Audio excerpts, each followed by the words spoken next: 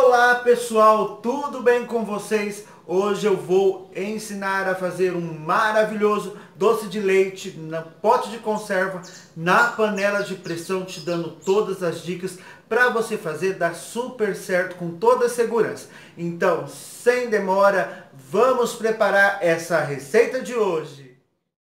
Vamos lá, pessoal. O primeiro processo é esterilizar o vidro. Esse é aqueles vidros de conserva, de azeitona, de palmito ou de doce mesmo.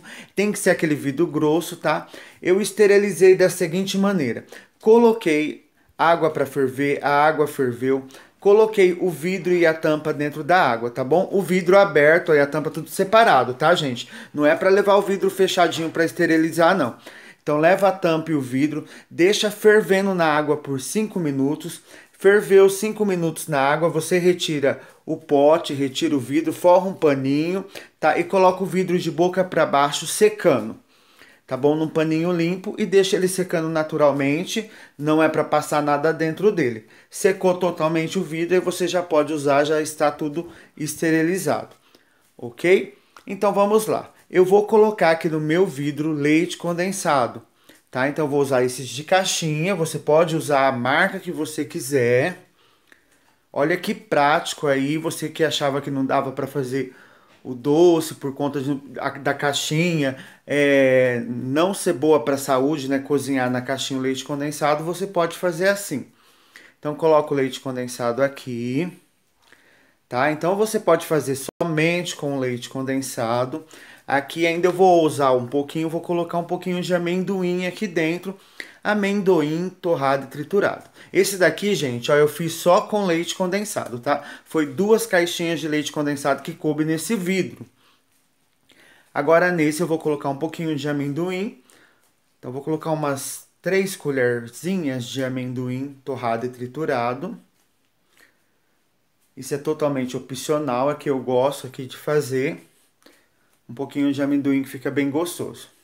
Deixa eu limpar aqui, limpei. Tirar aqui para vocês verem melhor. Ó, então coloquei o amendoim aqui. Você agora coloca, termina de colocar o leite condensado.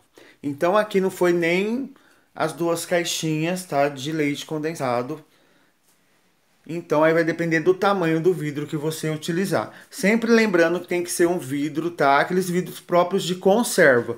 Se for um vidro muito fino, você tem que tomar cuidado porque pode quebrar no momento do cozimento, tá bom? Ó, então coloquei aqui. Tem que fechar muito bem, tá, pessoal? Fecha bem o seu vidro, ó como que ficou. Tá? Se caso sujar um pouquinho o vidro de leite condensado, é só você limpar por fora ok? E agora eu vou explicar a parte lá da panela de pressão. Então vem comigo e não perde todas as dicas que tenho para você.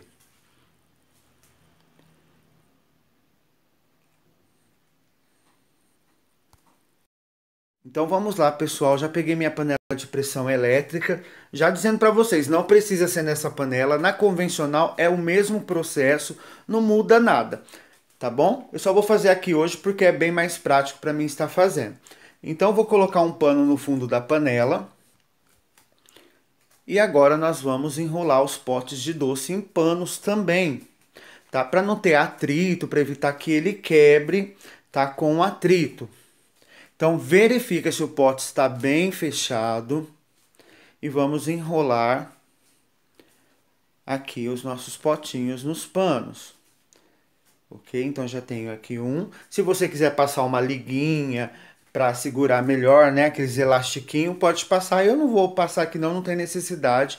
Eu vou fazer com os potinhos deitados para testar aqui, tá? Eu já fiz na panela de pressão convencional com os potes em pé, tá? Não vazou, tá bom? Eu quero testar agora desse jeito, então eu vou fazer assim, tá? Mas já estou dizendo para vocês que dá para fazer com o pote em pé, tranquilo, que eu já fiz e vou passar todo passo a passo. E é importante prestar atenção nessa hora, tá, pessoal? Que é essa hora que o pessoal tem mais medo, então vamos tirar suas dúvidas. Então, vou colocar aqui um pouquinho de vinagre, tá? Para evitar que fique que empreteja a panela, coisa assim. Então, você coloca um pouquinho de vinagre, tá? E agora eu vou começar a colocar a água aqui, ok? Então, vamos lá, vou pegar aqui a água. Eu vou colocar água aqui, pessoal. E lembrando vocês, eu coloquei os potinhos deitados que eu vou testar assim para ver se vaza, se vaza muito ou pouco os potinhos, tá? Porque eu gosto de testar. Então, por regra, faça com os potes em pé para quem nunca fez tá bom? Então, água não é para cobrir os potes. Aqui eu vou deixar mais ou menos até a metade do pote.